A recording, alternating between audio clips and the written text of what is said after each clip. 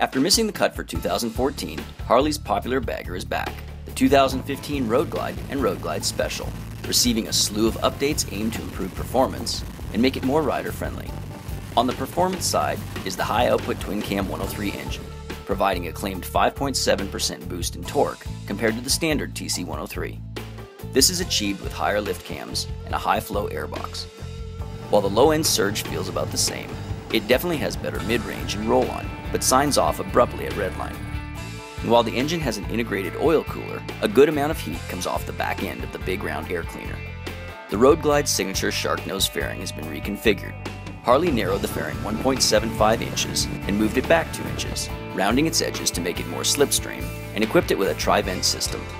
Scoops next to the headlights and a channel formed in the center of the fairing control the flow back to riders. With all vents closed, wind brushes the crown of the head but doesn't jostle it around. With all three vents open, a refreshing stream funnels back to riders mid-face.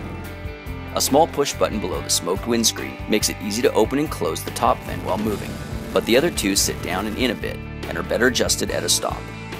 Inside the fairing is a 6.5 inch touchscreen. The 2015 Road Glide Special, equipped with Project Rushmore's high end infotainment package.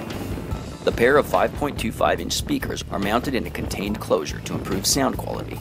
Even the bars are a bit different, Harley placing them 5.5 inches closer to the rider and bending them down a little to reduce wrist fatigue. The new placement makes leveraging lock to lock a cinch. Though the fork is larger at 49 millimeters, steering doesn't feel heavier. If anything, the new fork stiffens up the front end with better resistance to bottoming. The hand controls sport a new wrinkle too. Small joysticks used to toggle through options and adjust volume. The Road Glide Special comes standard with Project Rushmore's Reflex Link braking with ABS, the system doesn't engage until speeds above 25 miles per hour. At that point, speed sensors in the wheels keep tabs on slippage.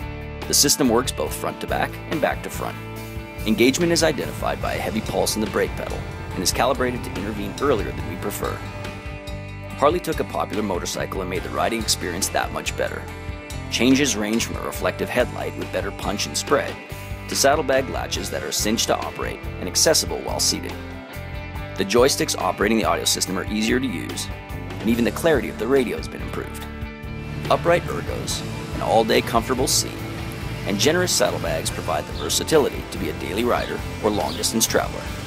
With everything in the right place and easier to manage, riders can focus on tapping into its more powerful engine, utilizing its intuitive braking system, and enjoying the familiar rumble of Harley's Bagger.